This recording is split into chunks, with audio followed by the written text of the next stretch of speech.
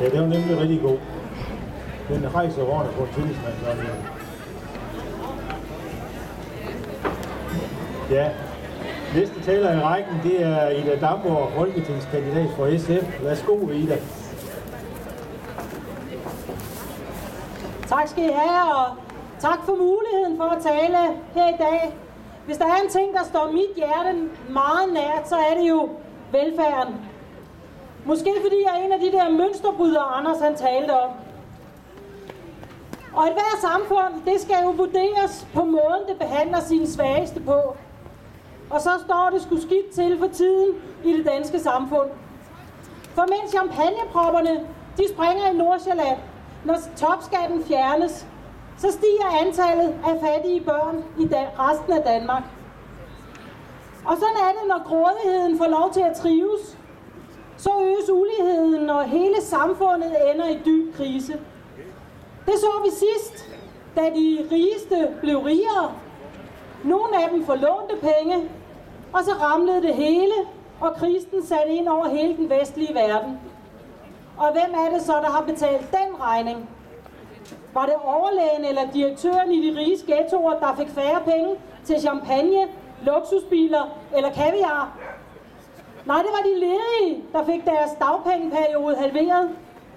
De unge, enten på uddannelse eller på kontanthjælp, der fik deres levestandard beskåret. Og det var de syge, der nu skal igennem de mest mærkelige arbejdsprøvninger, før de kan få en pension, mens selskabsskatten og topskatten blev mindre. Nu er det så de enlige forsørgere og de unge under uddannelse, der skal rammes med afsavn, fattigdom og udstødelse. Rejs dig, sulten slave her, er desværre snart ikke længere et historisk citat. For der er brug for alle os, alle jer og alle os, der mener, at samfundets gaver er noget vel ulige fordelt, at vi sætter hælene i og siger stop. Jeg vil ikke være en del af et samfund, der ikke tager ansvar for sine svageste. For jeg betaler min skat med glæde. Hvis jeg ved, den bruges på kontanthjælp, på SU, på sygehuse, børn og ældre. Men ikke hvis den bruges til et tilskud til et landbrug, der kun tænker på profit lige her nu, og ikke på ordentlige varer, der kan sælges også om 50 år. Eller hvis den bruges til skattelettelser til de, der har fået mest uddannelse af fællesskabet, har de højeste lønninger og for øvrigt også i gennemsnit lever længst. Fordi hvad nytter det at sætte pensionsalderen op for 3F'erne eller folk fra FOA, når de i gennemsnit dør, før de når pensionsalderen? Er det fordi, det skal give et godt afkast til pensionskasserne? Eller er det fordi, vi desværre i dag har politikere, der lever i den boble, der hedder Christiansborg? En boble, hvor alting kan sættes ind i et regneark og lave beregninger på, hvor meget arbejdsudbuddet stiger, hvis solen skinner så meget, som den har gjort i september i år, så vi slider mere på sandaler end på støvler. Men velkommen til den virkelige verden. Den verden, hvor vi andre lever. Det er den virkelige verden, der findes mennesker, der vil skide arbejdsudbud i 2025 et stykke, når bare de kan komme i arbejde i dag, i morgen, i næste uge og til næste år. Der findes mennesker, som slet ikke kan forstå udtrykket, vi skærer i ydelserne, for så vil de nok tage et arbejde. Undskyld, tag et arbejde. Jeg møder masser af mennesker på min vej, der vil hoppe på tungen til Paris, hvis det var muligt at finde et arbejde. Men arbejderne og jobsene findes jo ikke.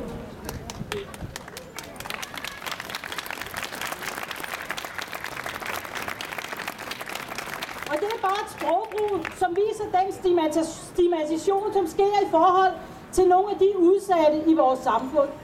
Jeg sidst hørte jeg Ben Bøsted fra Dansk Folkeparti, der mente, at de stakkels kontanthjælpsmodtagere, der bliver ramt af 225 timers reglen, bare skulle gå ned på jobcentret og bede om at få 6 timers arbejde om ugen. Undskyld, lever vi i forskellige verdener? Hvis jobbene stod i kø på jobcentrene, så ville ledige nok komme der for andet end uproduktiv kontrol, som sjældent giver den store mening. Nej, SF vil have fjernet kontanthjælpsloftet og 225 timers reglen, og det bliver noget af det første, der gør, hvis vi får et andet flertal.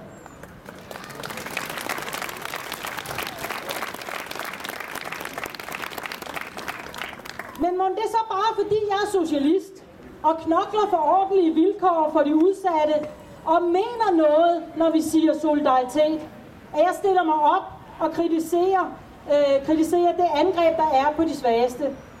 Ja, det er der helt sikkert nogen, der vil mene, at det er derfor. Men faktisk, så er økonomerne i OECD fuldstændig enige med mig. For de ved godt, at, at øget ulighed skader væksten.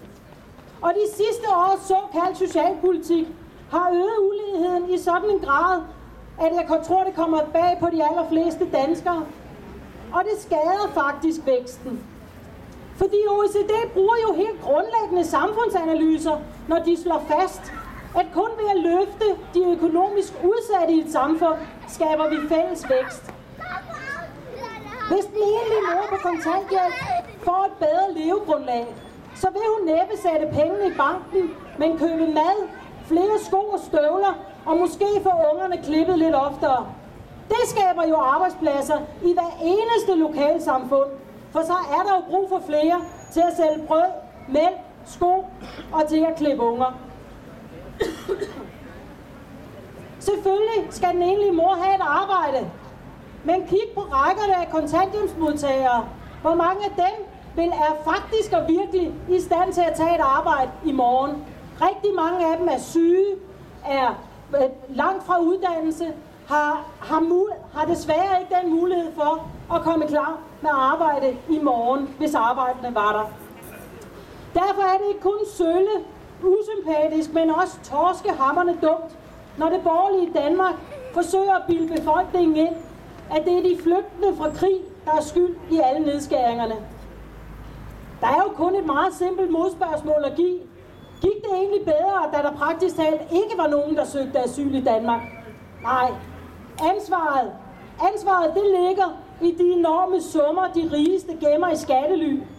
I de gaver, de, rige, de, i det, de gaver, de rigeste åbenbart skal have af fællesskabet af det borgerlige Danmark, og det gennemtræk, der er i skat fordi regeringer efter regeringer mener, at halvdelen af skats medarbejdere ikke lavede noget og fyrede dem.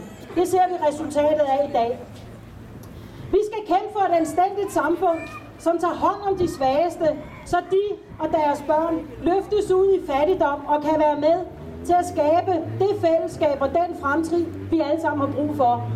Det er i skoler, det er på fodboldhold, det er i frimærkeklubber, det er der fællesskabet og mennesker vokser, og kun gennem det vokser vores fælles samfund. Tusind tak, fordi I alle sammen er kommet her i dag.